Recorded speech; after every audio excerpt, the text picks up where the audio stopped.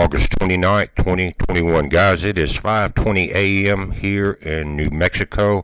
Make a short video. Got 13 hours to drive. We'll try to get home uh, just before the storm.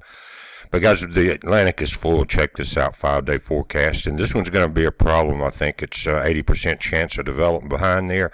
But right now, guys, we have a 150 mile per hour storm.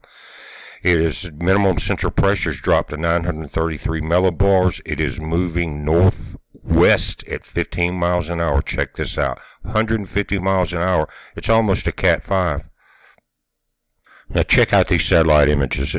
Folks in Louisiana and South Mississippi, uh, you don't have much longer on this storm. You've got a, you know, we're approaching a Cat 5, the strongest storm since the 1850s to hit southeast Louisiana.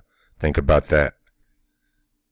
Same satellite infrared image. Guys, there's already reports of tornado warnings uh, spotted in on the coast of Mississippi around Bay St. Louis. So just imagine what's going on. But look where the eye is just to the west of the mouth of the Mississippi River.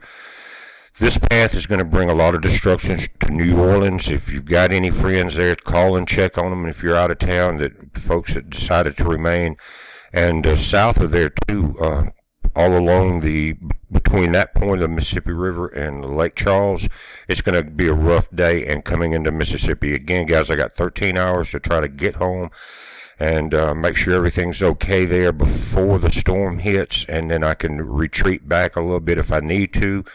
And then move back in very quickly if I've got to do roof repair and try to salvage any damage, things like that. Uh, get my solar powers, solar panels kicked in uh, but uh, I'm going to end this video so I can get it up, guys. Long way to drive. Thinking about every one of y'all. Praying for y'all. I'm on my way back. Heads up. Be safe.